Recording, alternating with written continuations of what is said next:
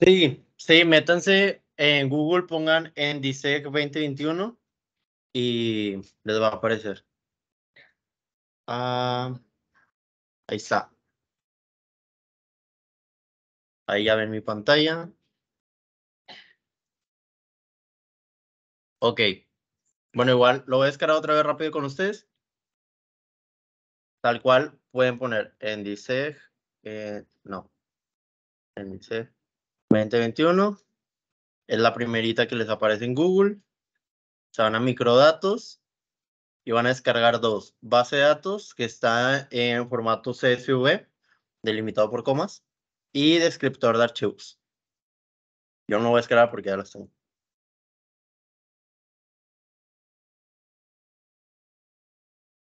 Y pues también vayan abriendo su stat.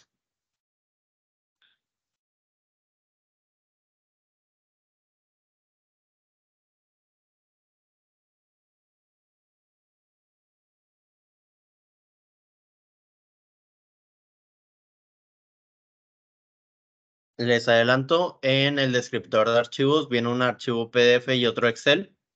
El Excel es el que me gusta más usar a mí porque está más fácil de, está más rápido, más eficiente de utilizar. Y pues es algo así. Este, en la parte de abajo tienen, cada pestaña es, no, cada hoja de cálculo es un archivo de Excel. Todo el laboratorio está hecho para que con T módulo lo puedan realizar. Y eh, entonces, y en su en su zip de CSV, pues tienen estos cinco archivos Excel. Les recomiendo extraerlos de una vez. Ahí, porque la neta no sé si se puede usar. Si siguen.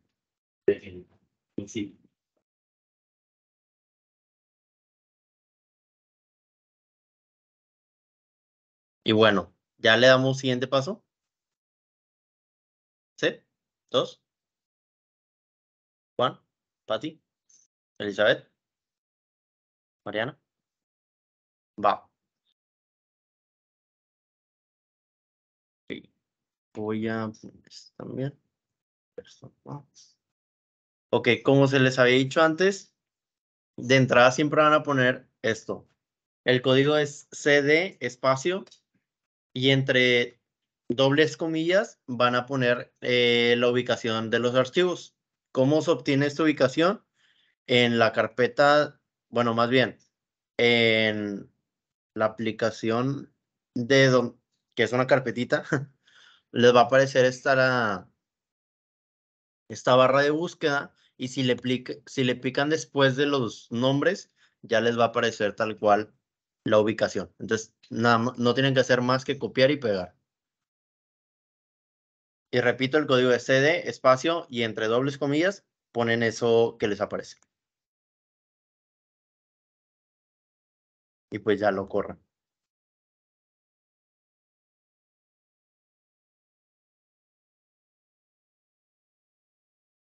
Bueno, voy a ir al siguiente paso. Y es que esto, esta primera parte que tengo seleccionada, eh, se le recomienda siempre ponerlo en cualquier do. Lo que hace este capture lock close es que va a cerrar todo lo que estaba haciendo antes para que pueda empezar a hacer algo nuevo.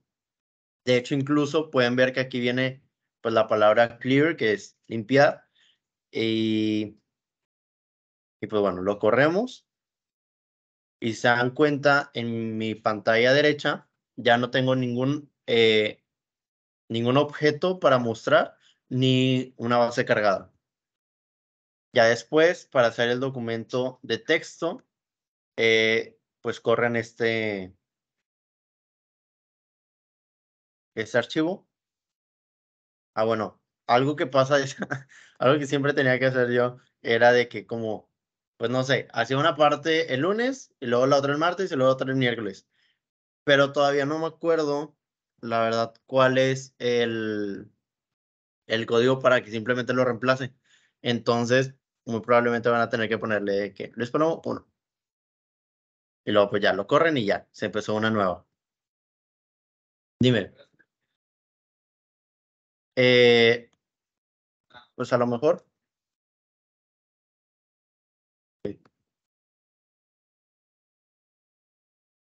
Ah, bueno, tiene que volver a empezar desde arriba, de que para que cierre el log anterior y luego usar este. Ah, sí, muchas gracias.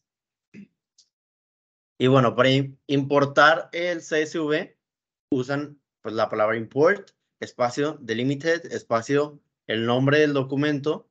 En este caso, para todos debe ser el mismo que este módulo en mayúsculas, coma clear. Pues ya lo corren y ya les debe aparecer la base de datos. Y luego para guardarlo en formato stata, corren eso, que es save espacio de módulo, el nombre de la base de datos o como quieren que se llame ahora, punto DTA, replace. Y pues ya, con eso ya tenemos el punto 1.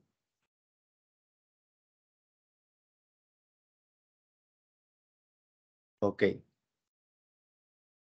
Ahora sí, pregunta 2. Utilizando la pregunta 5.4 del cuestionario principal, se generará una variable dicotómica que indique 1 si la persona encuestada sufrió violencia. Ok. Nos vamos nosotros a nuestro descriptor de archivos y nuestra pregunta 5.4 son estas 5. Que si fue molestado, que si fue, eh, bueno, si fue molestado en actividades sociales, si sufrió bullying o se ofendió en algún momento, si lo robaron, escondieron, rompieron, si le amenazaron o si lo empujaron, jalonearon. Este, todo en la infancia. Bueno, a diferencia del laboratorio pasado, ahora sí les traje la respuesta, que es generación, generar o gen, espacio, violencia igual a cero, para que de entrada ponga todos los encuestados que no sufrieron violencia en cero.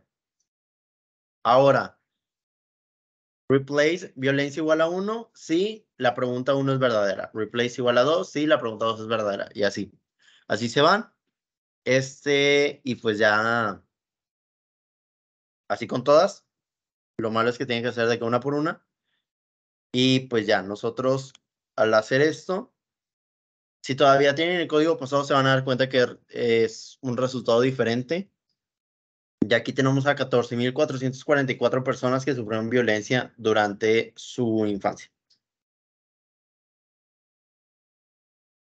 Y, ajá.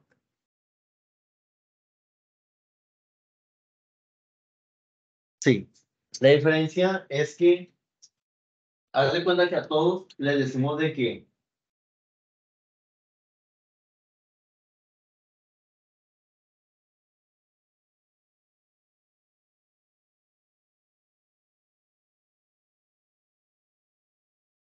Hay que primero les decimos a todos, todos sufrieron violencia. Y luego nos vamos a preguntar uno. Ah, aquí sí sufriste violencia. Ahora te quedas. Aquí también, aquí también, aquí no. Ahora te quitas. Luego, aquí también, aquí, aquí no. Ah, bueno, te quitas. Ya eres cero. Luego aquí eres cero, aquí eres uno, aquí eres cero otra vez. Y luego ya se va con la pregunta dos. Ah, bueno, aquí tampoco. Como aquí no sufriste violencia, este ya te va a quitar. Y luego de que aquí también, pero aquí, ¿sabes qué? Si te mantienes, aquí pues ya estás quitado, aquí también te mantienes, aquí, como ya eres uno, de que te vuelvo a poner. No. No, como ya eres uno de que ya te quité. Ajá, porque te quité atrás.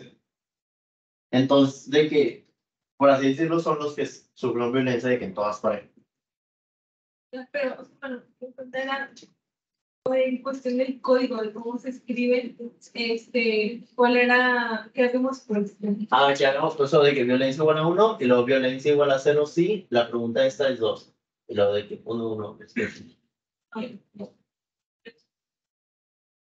Y otra cosa era lo de...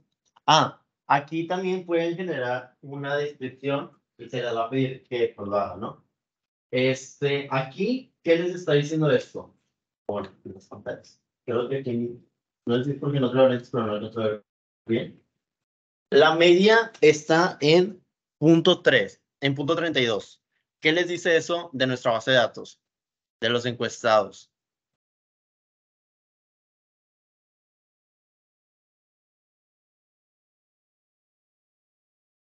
Ajá.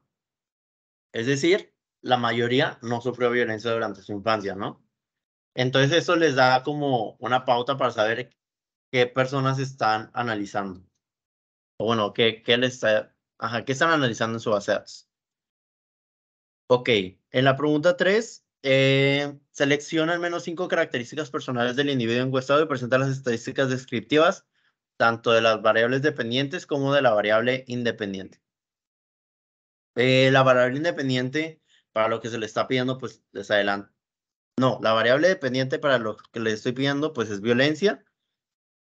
Pero pues yo agregué cuatro de cinco. Ah, bueno, yo recomiendo estas cuatro y ustedes que agreguen una quinta de que la que se les ocurra. O si quieren cambiar una de esas, nada más no cambien la de edad porque la van a usar después. Eh, cinco características. Yo seleccioné una sexo al nacer. Si eres hombre o mujer. Al momento de nacer. Después agregué una que se llama LGBT, que va a seleccionar a las personas, va a poner a todas como, como uno si la persona este, es hombre y le gustan los hombres y las mujeres o solo los hombres. Este, y también va a seleccionar la persona un, no, le va a poner cero. No, no, no, sí, sí, sí, sí está bien, sí está bien. De que le va a poner cero, si, la, si es mujer y le gustan los hombres, nada más. Y le va a poner cero también si es hombre y le gustan las mujeres. Es decir, pertenece a la comunidad LGBT. Aquí les puse un, una parte más, un código más, le agregué esta partecita que se llama el factor de expansión. Todas las encuestas del INEGI tienen un factor de expansión, ya que el individuo, por ejemplo, Manolo, yo al encuestar a Manolo, este, ya estoy tomando la información de 10.000 personas más, porque Manolo es representativo de 10.000 personas más. Entonces, pues bueno, si corren ustedes todo este rollo.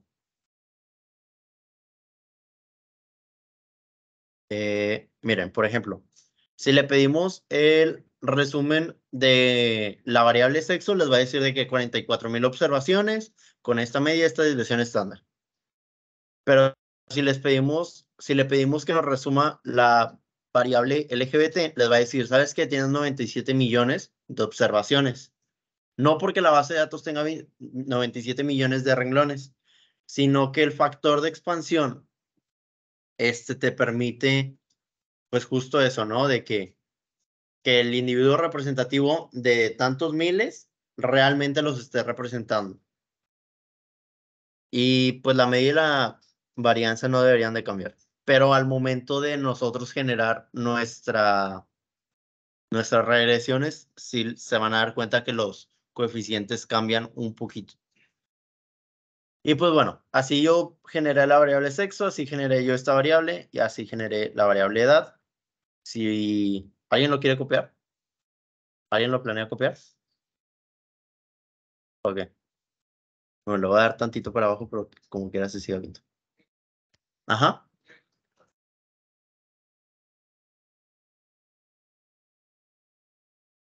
Ah, bueno, medio continuo tenemos edad.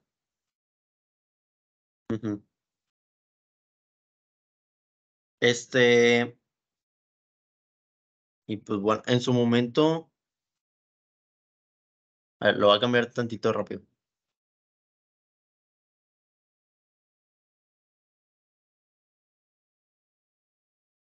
Sí, en su momento también tenía edad y la verdad no me salieron muchos problemas econométricos.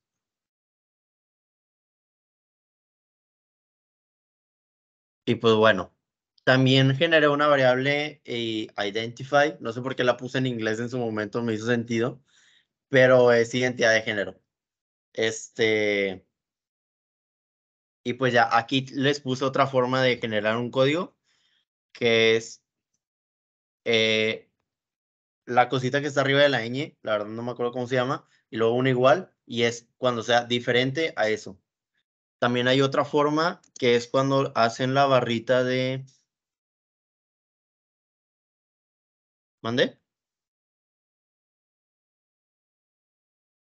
¿Esta? No es... No, según yo no se llama, si no es...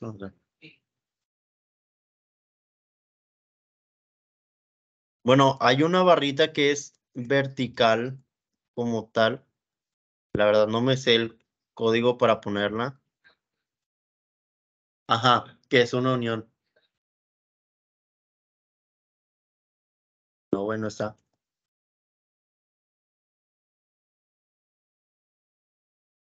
Ah, sí, sí, está al lado del uno de que en el teclado de las computadoras. Es, bueno, es la barrita, pues es una unión. De que le ponen if y luego ponen espacio, la- mm, lo voy a poner con una L porque no la tengo.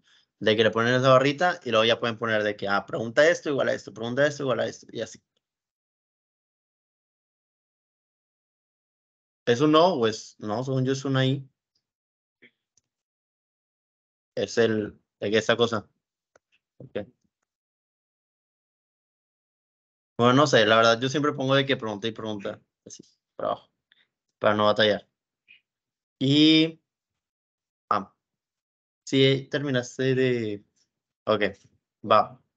Bueno, identidad de género. Eh, pues así está. Y ahora sí lo importante. Corre un modelo de probabilidad lineal con respecto a variable que creaste en el inciso 2 y evalúa si tu regresión sufre de heteroscedasticidad. Si ustedes corren la regresión así, se van a dar cuenta que tienen unos coeficientes, nada más ir por sexo, por ejemplo, 0.16, bueno, 0.016, pero si le ponen lo que les comentaba el factor expansión, pueden ver que la regresión cambia un poquitito. 0.3, 0.3. Entonces, pues sí te afecta un poquito de que en tus variables, ¿no? Para que de preferencia lo pongan. Si les da mucha bloguera, pues no lo pongan, no pasa nada. Nada más van a tener un modelo mal hecho. Este, y pues bueno, yo tengo en Stata, cuando le ponen re, eh, probit, logit, etcétera, van a tener sus yes y luego espacio, bueno, aquí es espacio, aquí es espacio, espacio, x2, espacio, x3, espacio, y le pueden poner las x que quieran, ¿no? Este, y lo mismo pasa en Probit, se exactamente lo mismo, lo mismo en Logit, lo mismo en Probit, lo mismo en el Logit. Este, y pues ya, nada más lo corren, les va a aventar estos números.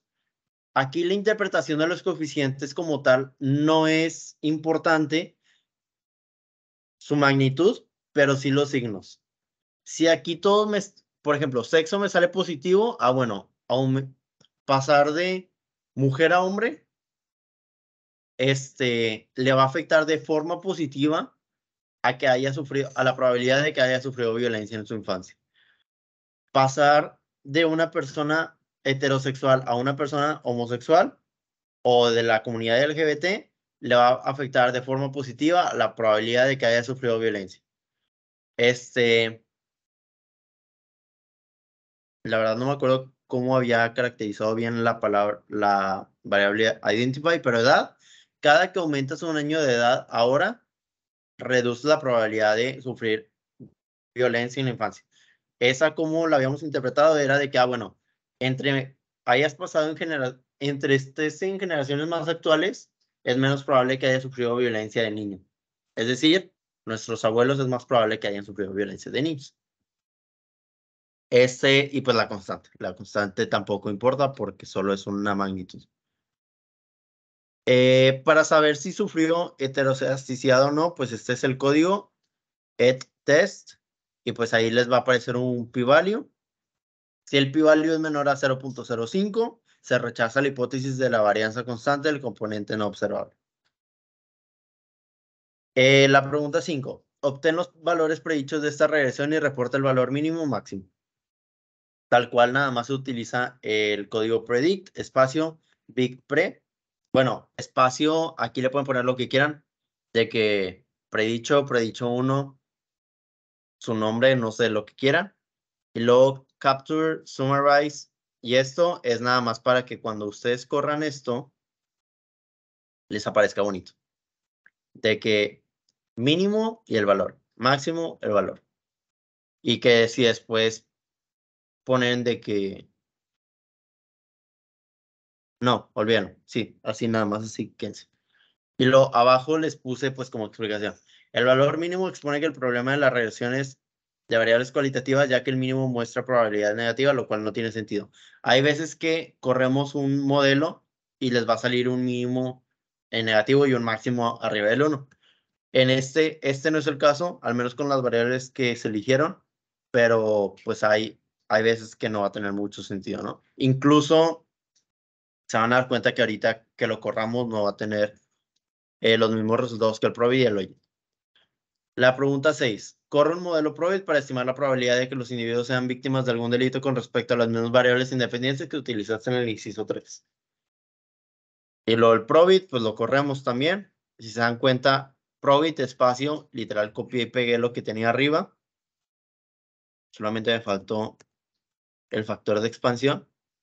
Nuevamente podemos ver que los coeficientes cambian un poco. Y pues aquí les pido que de descripción o de respuesta me digan si alguno de los signos son iguales al modelo original y si las variables son significativas para su modelo. Hay varias formas de saber si nuestra variable es significativa. ¿Alguien me puede decir una?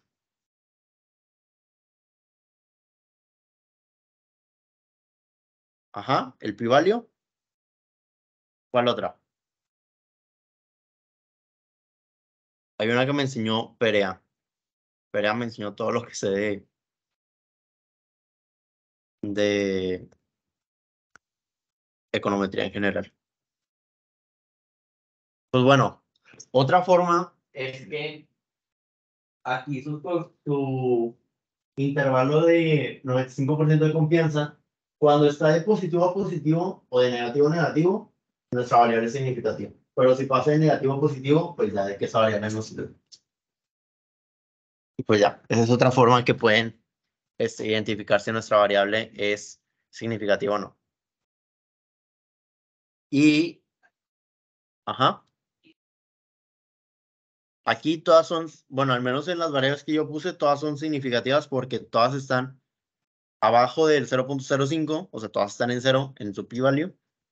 Y todos los coeficientes de, bueno, todos los intervalos están de positivo a positivo y de negativo a negativo. Ok, pregunta 7. Sí, los intervalos que te aparecen aquí deben de pasar de positivo a positivo y de negativo a negativo. Si cruza de positivo a negativo, no, de negativo a positivo, este, nuestra variable deja de ser estadísticamente significativo. Ajá. Ok, 7. Obtén los valores predichos de esta regresión, mínimo y máximo, y compararlos con los cuatro, con el inciso 4.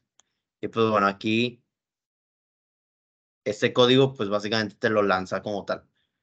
Máximo de probit, máximo de regresión.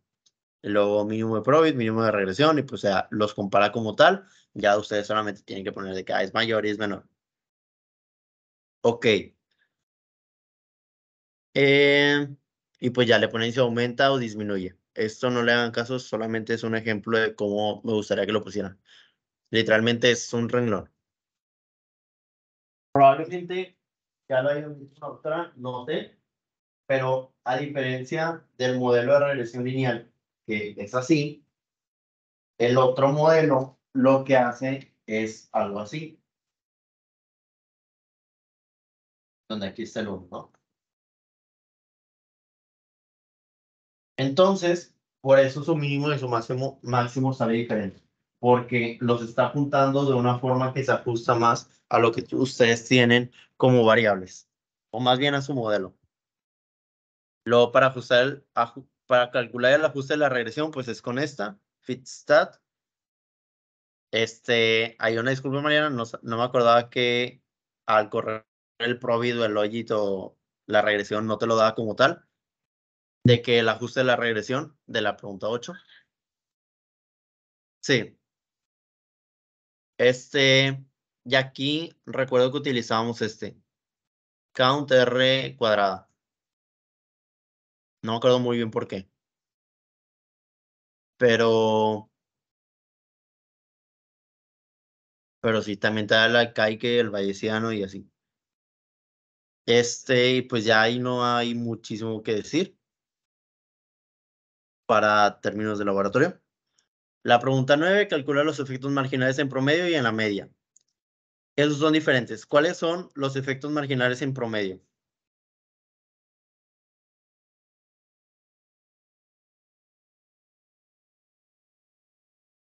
En el promedio de cada variable.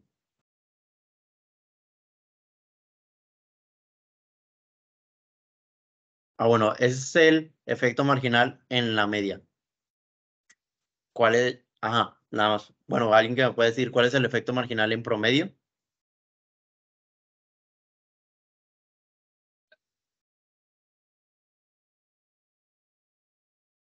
muy bien. Y pues bueno, al correr esto, tal cual le sale de que el efecto marginal, esto ahora sí son interpretables. Esta, como decía Manolo, de que pues es la, es la derivada en el promedio. Este es el código de margins, coma derivada at mean. Esto ahora sí se interpreta. Y se acuerdan que el laboratorio pasado les decía que uno era el cambio porcentual y, era, y el otro era el cambio en puntos porcentuales. Este, bueno, aquí es donde lo tienen que aplicar. La pregunta 10 genera cinco brackets de edad para este y tabula la variable. Para hacer los brackets edad, la forma más sencilla es hacer esto. Donde pues va a poner a todos primero en 1 si la es menor a 25 y luego, sí, y luego si está de 25 a 35, de 35 a 45, 45 a 55 y mayor de 55. Desde a mero arriba, en la pregunta 1, cuando generé la variable edad, le pedí que borrara este, ¿cómo se llama? Que borrara, que borrara la variable edad si es igual a 98, ya que si se van a la encuesta, el 98 en la pregunta 4.1 significa que la edad no está especificada. Entonces, pues esa, esa respuesta no nos sirve, por lo que van a tener que borrar la variable. Y si no vieron el código, nada más es drop if y pues ponen el código, ¿no? De qué edad igual a 98. Y pues bueno, ya se tabula eso. 11. Utilizando tu modelo Probit, genera una gráfica que presenta los efectos marginales para cada grupo de edad. Y pues ya el Probit, les digo, es exactamente igual. Simplemente le agregué la variable edad para después poner los efectos marginales. Esto a lo mejor así no tiene muchísimo sentido que sea de que de 10 años a 10 años. A lo mejor lo pueden hacer ustedes de que para los que son no sé cuál es la generación arriba de los boomers, pero de que los boomers, y luego los millennials, y luego Gen Z, y así de que, porque pues en, en sí se supone que tienen un grupo de pensamiento muy similar, un estilo de, una forma de pensar muy similar. Entonces, pues a lo mejor les puede dar un poquito más de información. Este, de igual forma, aquí ya no puse el factor. Les digo, si se acuerdan de ponerlo con ganas, si no, pues no pasa nada. Este, la pregunta 12, corre el modelo asumiendo que se distribuyen los errores de forma logística. No es nada más que poner en logit. Este, otra vez, el efecto marginal, efecto en la media. ¿Está? Ah, no, nada más les pido el efecto en la media. Este, 14, ajusta el modelo Logit y compáralo con el modelo Probit para calcular el ajuste, pues es, es exactamente lo mismo, simplemente aquí le puse que, que lo capturara para que no lo confunda el programa. Y pues ya, la pregunta 15 y la última pregunta del laboratorio es que obtengan los odd radios, que son las razones de nomios del, del modelo Logit Y para obtener eso se utiliza el código logistic espacio su regresión. Ya con eso pueden obtener hasta la 15. Con la doctora ya vieron el Ologit o Probit, MLogit, MProbit. Ok. Bueno, en el laboratorio 2, la pregunta, aquí está. Desde la pregunta 19, sí, a ver, con ustedes acabo de hacer hasta la 15. Ok, la pregunta 16 es utilizando la información del módulo sobre violencia, sobre victimización, no, aquí es sobre violencia. Este, a partir de la pregunta 7, a lo largo de su vida ha sentido gusto, atracción, etcétera. Genera una variable 1 si la persona ha sido heterosexual toda su vida, 2 si ha sentido atracción por hombres y mujeres, o 3 si es pues homosexual. Este, sé que hay más sexualidades aparte de estas. Sin embargo, este, todas las demás las vamos a englobar en, el, en la pregunta 2. Bueno, más bien en la respuesta 2. Indica como valor perdido si dejaron en blanco la respuesta. Recuerda que tus relaciones solo incluyen a las personas que reportaron haber sufrido algún tipo de violencia. Este, esta, si quieren, la dejamos para después porque se planea utilizar en un, en un 19. Así que para el viernes van a, van a subir el laboratorio hasta la pregunta 15, donde pues básicamente realizan todo lo que se utilizó hoy, pero también se describen los resultados. ¿Ok? Y pues bueno, les voy a subir también este laboratorio.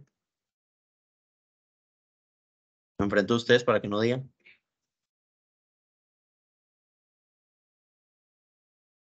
Ajá. Lo... Sí.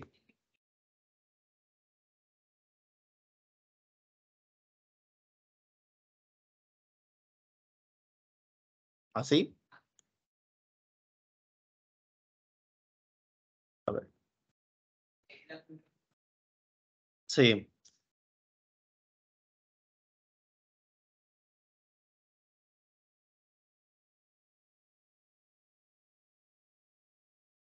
Ah, mira, te avienta de que este pedo. Este. Pues bueno, o sea, lo pueden poner.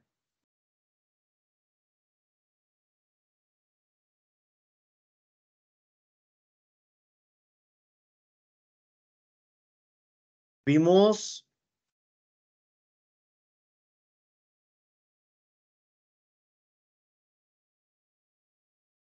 Vimos lo de la grafiquita, ¿no, verdad? No en cuál se las pregunto.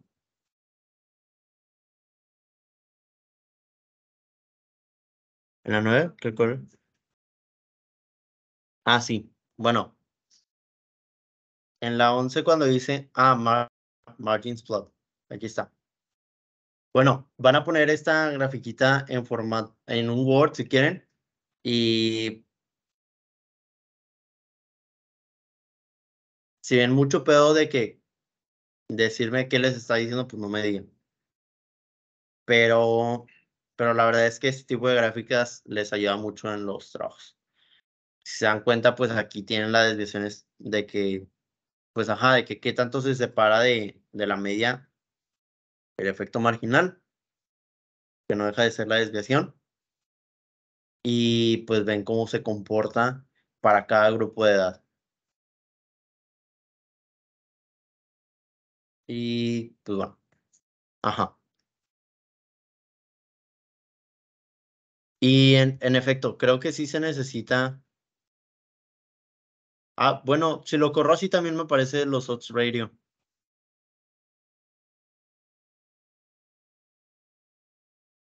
Entonces, pues bueno, en caso de que de plano no les aparezca, pues nada más lo ponen. Y pues ya, es todo. Les recuerdo utilizar el factor de expansión. Muchas veces eso los puede servir para que una variable deje de ser, o sea, en esas que dices de que nada, no mames, ya estaba a nada de que fuera estadísticamente significativa, pues ya le ponen el factor de expansión y puede que se modifique de que tantitito, ¿no?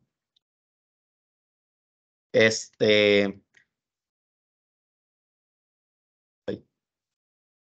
Y pues les digo, el código es fw igual a factor.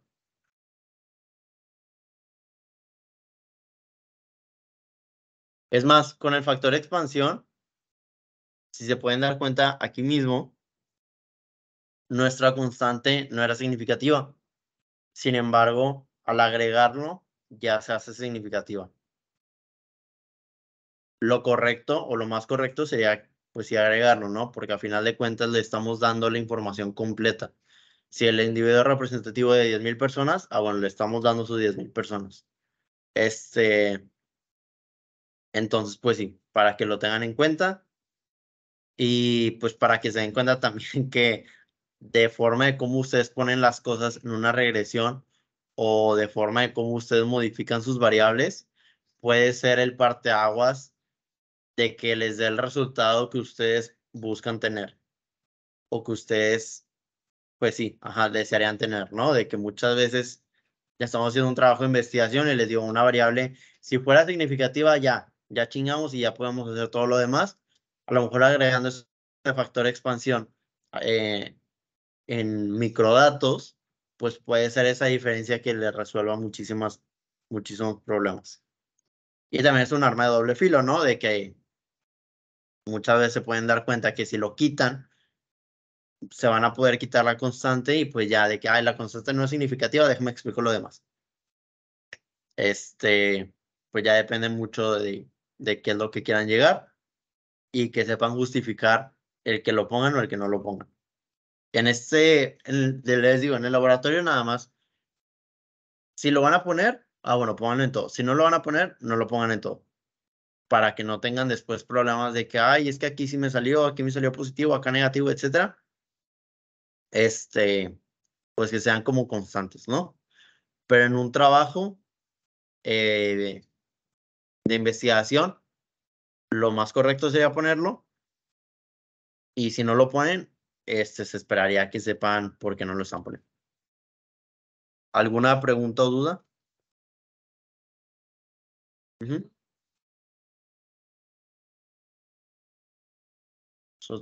Radios, no sé si se puede decir que son como una derivada. Pero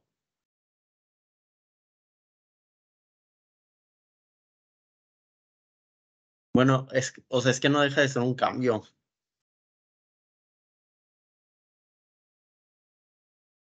Bueno, otra, a lo mejor con esto puede ayudarnos un poquito más. Vamos a intentar explicar eh, dos de estas variables. Sexo, aquí aparece con 1.06, 39. Sí, creo que es... Ah, no, ya voy.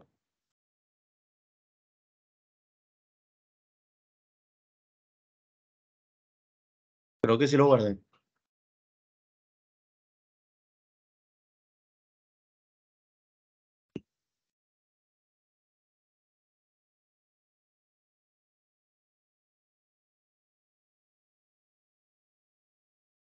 Está. De nada. Este, bueno, ahora sí. Para los radios tenemos, por ejemplo, un 1.0639 la diferencia con los efectos marginales es que aquí pues incluye uno, ¿no? O sea, no vamos a decir, ah, pasas de hombre a mujer, no. De mujer a hombre y vas a aumentar 106 tu probabilidad. No, pues esto que va a supervivir ¿no? Cuando, o sea, si lo interpretábamos así, pues la neta no tiene sentido. Lo correcto es decir de que básicamente un menos uno.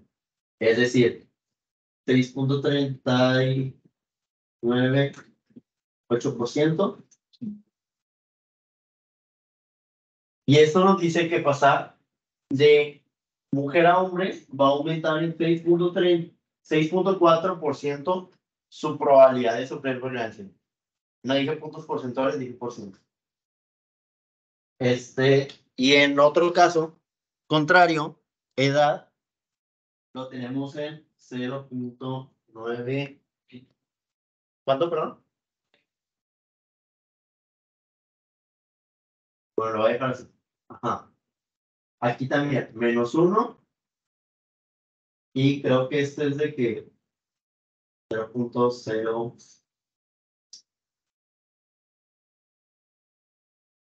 Lo voy a poner así. Negativo. Esto te dice que al aumentar en un año de edad, tu probabilidad de sufrir violencia es del 0.7%. Disminuye tu probabilidad de sufrir violencia en 0.7%. Pero les digo, no, la verdad, no sé si esas res esté bien o no. Simplemente tomen el, el odd radio, le restan uno, lo multiplican por 100 y esa probabilidad va a ser. Este, por ejemplo, el LGBT, aquí está pues bien pasado de lanza, ¿no? Si aumentas, bueno, es más, si pasas de heterosexual a una sexualidad diferente a la que la sociedad manda, tu probabilidad de sufrir violencia va a aumentar en 66.44%. Que ojo, esto no dice que si tu probabilidad antes era de que 0.3 va a aumentar a 0.9, sino que es el 0.3 por 1.60 y no sé qué porcentaje era. ¿Me explico? Y esa es una diferencia con los efectos marginales. Los efectos marginales, si es de que, ah, bueno, si es .66, lo vas a agregar a esto, entonces en totalidad, en total vas a tener 0.9. Este, pues que tu niño se prepare porque va a sufrir violencia. Pues no, la neta no. Por eso es importante saber interpretar cuáles efectos son los que nos importan y cómo los estamos, este, cómo le estamos diciendo a las personas que les está afectando esa característica, ¿no?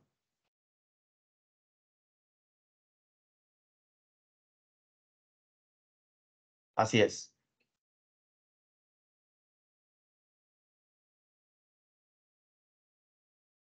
Sí. El, ajá, los efectos marginales en la media y en promedio agregan puntos porcentuales y este es el porcentaje en el que va a aumentar. Y pues, ajá. Les voy a poner nada más como ejemplo.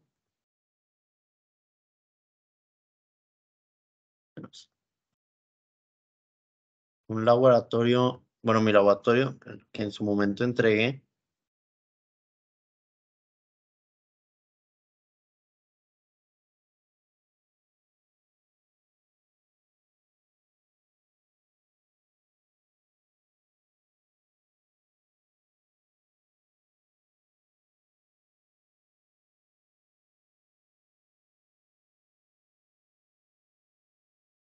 Chequen. Aquí tenemos eh, los efectos marginales. Ser hombre disminuye la probabilidad de ser víctima de un delito en pun- punto 98 puntos porcentuales. Este, edad. Tener un año más de edad, edad disminuye tu probabilidad de sufrir violencia por un delito en punto dos puntos porcentuales. A diferencia de el... Bueno, aquí no puse la interpretación. Pero sí, o sea, básicamente así se interpreta, ¿no? De que el pas, o sea, el ser hombre o, o el ser mujer, depende qué quieran interpretar o que busquen decir, aumenta en tanto por ciento la probabilidad de ser violentado en tu infancia. Y pues bueno, ¿alguna otra duda? Sí, dije medio en claro esa parte. Sí. Efectos marginales son los puntos porcentuales que aumentan o disminuyen la probabilidad de que pase tu evento Y.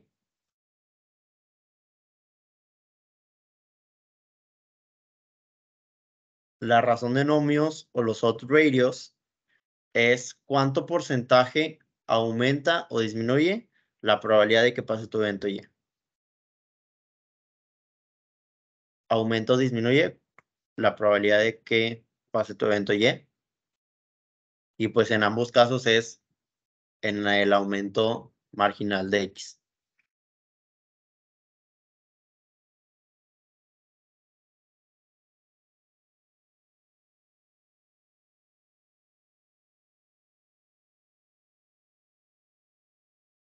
Ah,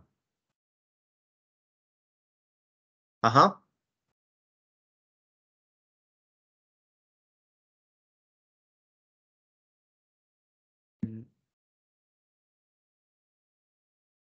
Sí, sí, sí, mira, si quieres, ah, voy a correr ese probit. Ahí.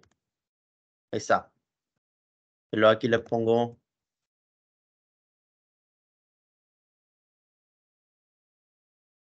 pues ya, le pongo de que summarize Manolo.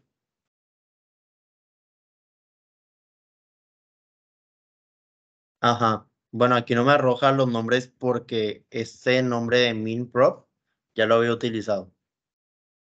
Pero si te das cuenta, aquí le puse, ajá.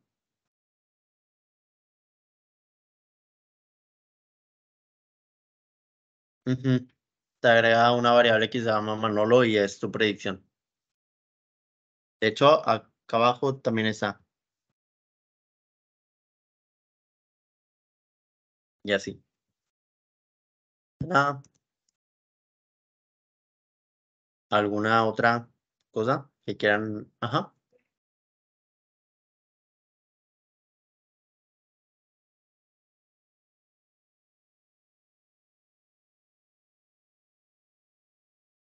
Este, tal cual en el momento de interpretar, como se supone, como se supone que las personas que están leyendo nuestro artículo o nuestro, en este caso nuestro laboratorio, son personas que conocen del tema, pues nada más poner el efecto en promedio es tal, o el efecto en la media es tal. Pero es lo que decía eh, tanto Manolo como Emanuel. El efecto en promedio es iteras de que en todo, bueno, por ejemplo, tienes pues aquí tu regresión, ¿no? De que ya ajustado y todo. El efecto en promedio va a iterar aquí, aquí, aquí, aquí, aquí, aquí, aquí, aquí, aquí, aquí, aquí, aquí. Y, y ahora que tiene todos los efectos en toda la, pues en toda la distribución, hace un promedio. Y el efecto en la media es tal cual de que solo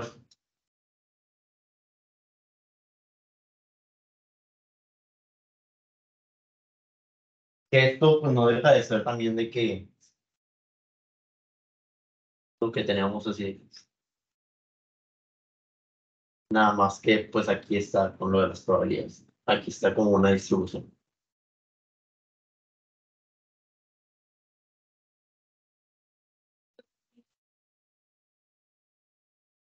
Y al poniendo como que en el pizarrón, este, tengo que tomar los coeficientes tal cual están aquí.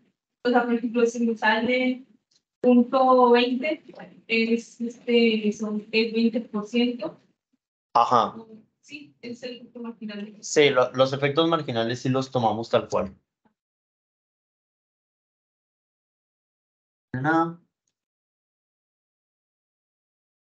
Sí, los únicos que tenemos que, bueno, o sea, los efectos marginales pues también los multiplicamos por 100 para tener el efecto, ¿no?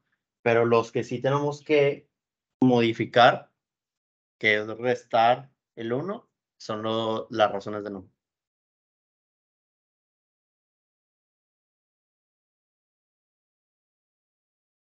Y pues bueno.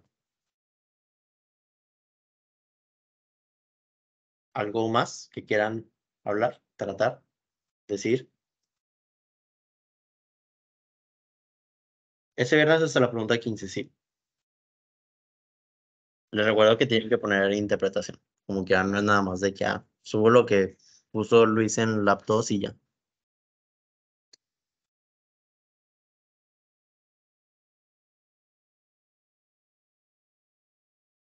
Entonces nada más, Un disculpa por llegar tarde. Había tráfico. Y me dormí tío tarde. Pues bueno.